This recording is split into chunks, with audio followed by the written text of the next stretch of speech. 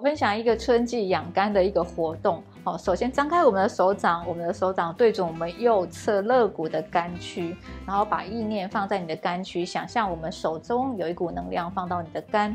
接着呢，我们就要伸展身体的侧面，因为我们肝胆经都在身体的侧面，所以你轻轻的，好往身体你的左侧弯，弯到极限的时候，然后轻轻数个五、四、三、二、一，再回来。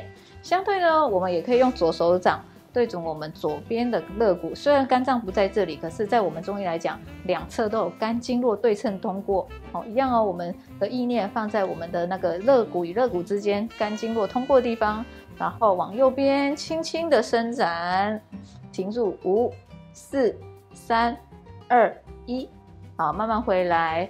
每天呢，早晚各做十下，让这个经络侧面经络可以拉伸开来。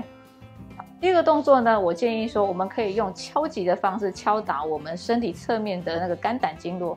好，来，我们可以利用我们手指走的肘尖做一个这样敲敲敲敲击的动作。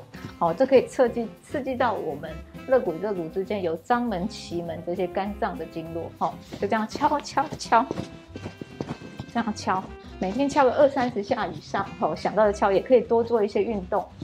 好，增加我们的一些肌肉，还有心肺的功能。